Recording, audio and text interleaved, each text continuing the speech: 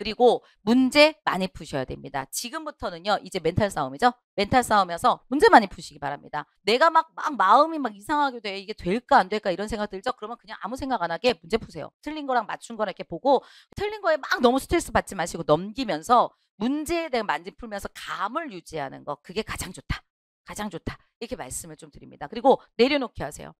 뭔가 거- 걱정과 근심과 이런 것들 다 머릿속에 올려놓잖아요. 그러면 풀 수 있는 것조차도 못 풉니다. 그렇기 때문에 돼. 아이 몰라. 일단 하고 봐.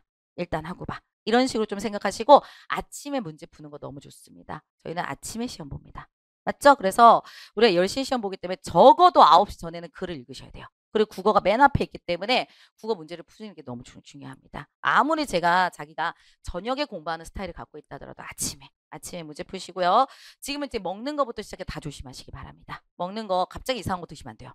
갑자기 좋은 거 먹고 막 한약 먹고 다 필요 없어요.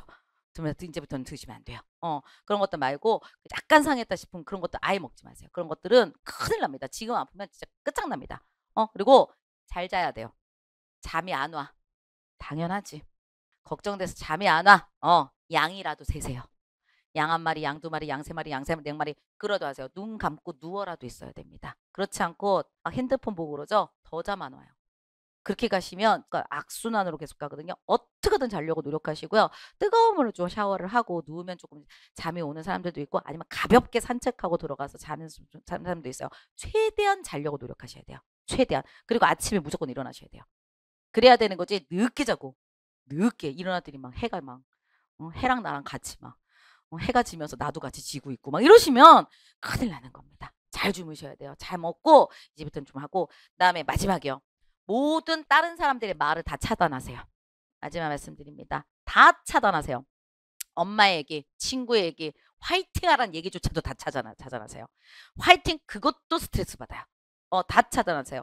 그러니까 그래 요번엔 붙을 수 있을 거야. 그런 얘기조차도 듣지 마세요. 음, 듣지 마세요. 왜? 내가 휘말려요. 내 감정이 우리가 굉장히 심각하거든요. 어, 그렇기 때문에 그 정말 내가 소중하게 가야 돼요. 그죠? 어, 그리고 아실 겁니다. 독해가 많기 때문에 그날 컨디션이 너무 중요하단 말이죠. 그래서 계속 자야 된다고 계속 말하는 거야. 그날 갑자기 이상하게 일찍 일어나봐서 소용없어요. 그러니까 귀하게 나를 이렇게 좀 생각하면서 그래야지 자기 이상한 데다가 막, 어, 진짜 난 지금 시험을 봐야 될 소중한 몸이에요. 모든 거를 최고로 내가 만들어서 가셔야 되기 때문에 진짜 귀 기울여서 드시고 최대한 잘 자고 나쁜 얘기 다 피하고 응? 엄마가 계속 나쁜 얘기해. 전화 받지 마. 그럼 안 되지만 어쨌든 진짜 내게 듣지도 마시기 바랍니다. 그거에 마음 다치는 분들 너무 많이 봤습니다. 그리고 꼭 이상한 분들 있어요. 이 일이 이렇게 중요할 때쯤 돼가지고 친구가 이상한 짓 하는 사람들 있어요. 친구가 갑자기 전화 와서 아 나 헤어졌는데 걔 헤어진 거야. 내 인생 아니야 어? 내가 못 됐는지 모르겠지만 끝나고 난 다음에 만나세요. 그리고 저는 이런 사람도 봤어요. 자살 소동 벌이는 사람도 봤어요, 제가. 친구가 그런데 그러니까 뛰어나간 거예요. 끝장납니다, 진짜. 아, 제발요. 그냥 전화를 끊어. 그러면 그런 소식조차도 안 듣잖아. 응, 제발. 여러분들이 합격을 하셔야 돼요. 어? 또 다시 1년 하고 싶어요? 아니잖아. 합격해가지고 즐거운 마음으로 오셔가지고 선생님 제가 그럼 꼭 닦여 오신다니까 저한테 진짜 말투가 달라져서 오세요. 선생님 이거 뭔데요? 이게 지금 말투면 그때 당시에는 어떻게 하면 선생님 제가요. 어머 말투 왜 그러세요? 뭐 이렇게 막 바뀌어요.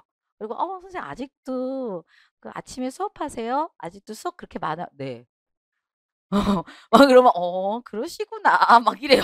어 선생님 맥주 한 잔 드시죠? 뭐 이런 얘기 뭐술 한잔 하시죠? 오케이. 근데 불구하고 내가 시간이 없잖아요. 음, 그러니까 여러분 진짜 합격 꼭 하셔가지고 그런 거 음, 꼭 하셨으면 좋겠어요. 진심으로 바랍니다.